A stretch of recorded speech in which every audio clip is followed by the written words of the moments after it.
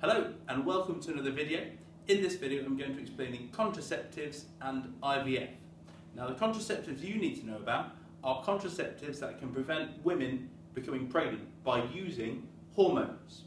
Now the first type you need to know about is the estrogen contraceptive pill. Now what the estrogen contraceptive pill does is it provides estrogen into the woman and it blocks the production of FSH. Now we call that inhibits. So estrogen inhibits FSH. That means that FSH isn't produced and the role of FSH is to stimulate the eggs to mature. If the eggs aren't matured, the woman can't become pregnant. Now that's how the estrogen pill worked.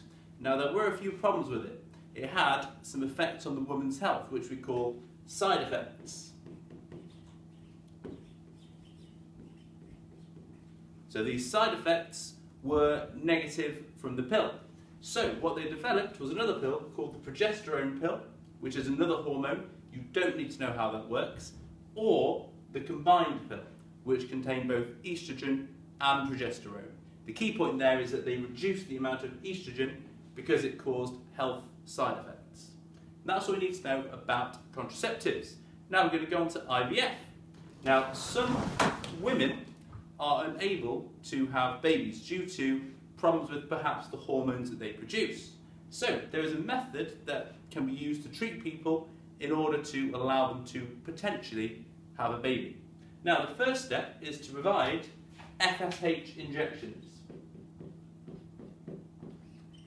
So the woman would be provided with FSH either by injections or perhaps in a pill form. And this should hopefully cause more eggs to mature. So more eggs are ready. And those eggs would then be removed. So removed.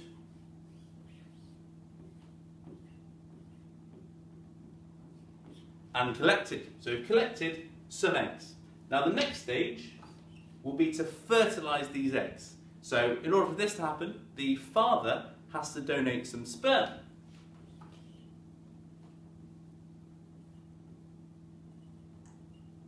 So sperm has been donated there. Obviously there'd be far more than that number of sperm, but that's just an example. So they would need to be mixed together. So we'd mix together the sperm and the eggs.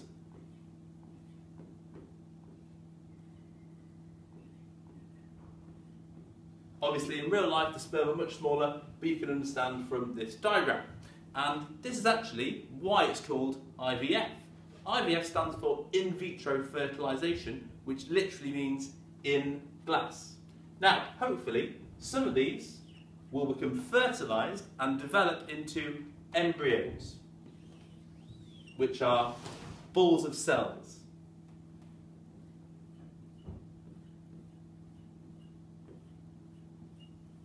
So they're balls of cells that have the potential of growing into a baby.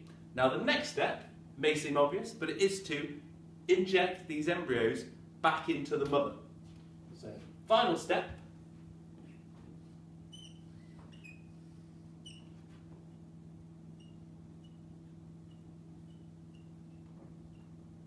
is to inject the embryos back in to the mother.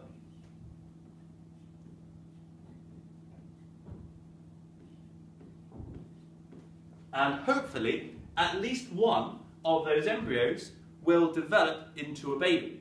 That is how IVF works. So initially, giving FSH injections to cause more eggs to be released, collecting those eggs, mixing the eggs with sperm, and hopefully resulting in fertilization, uh, leading to embryos, injecting those embryos back into the mother, and hopefully they'll grow.